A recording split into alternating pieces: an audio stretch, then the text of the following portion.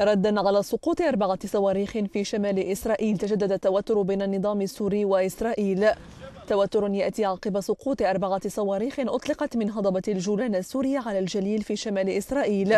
وعلى القسم الذي تحتله إسرائيل من الجولان السوري دون أن يخلف الحادث ضحايا لكنه تسبب في نشوب حرائق وفق ما أفاد به الجيش الإسرائيلي.